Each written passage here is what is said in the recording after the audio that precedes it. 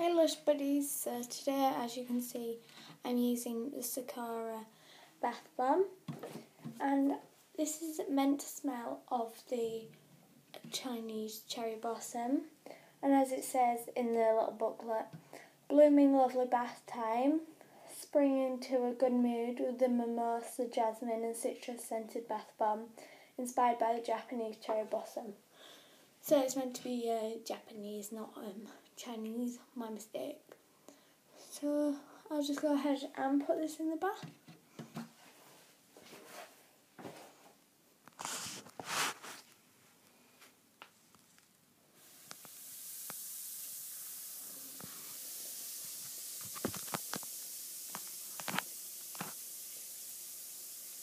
So it is quite a fast fizzer. Can't even really see it. I mean, let's try and put this so you can see it a bit clearer. It's just not got much colour to it, it's just plain white. And the um, blue like rock stuff in the top was actually sea salt, but I wouldn't eat it now. And I wouldn't have eaten it in the first place, so I don't know why I said that. But it doesn't really make any colour as you can see and the smell really does come out now. It's pretty amazing really. Very citrusy.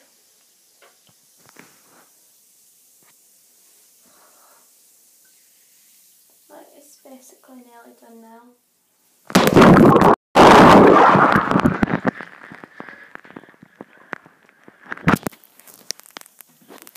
Sorry about that guys. Um actually my iPad fell in the bath.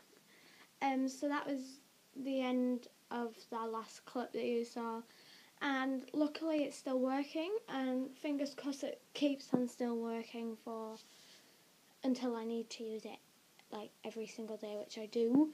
Um but keep your fingers crossed for me guys because I really need it to keep working. Love you. Bye.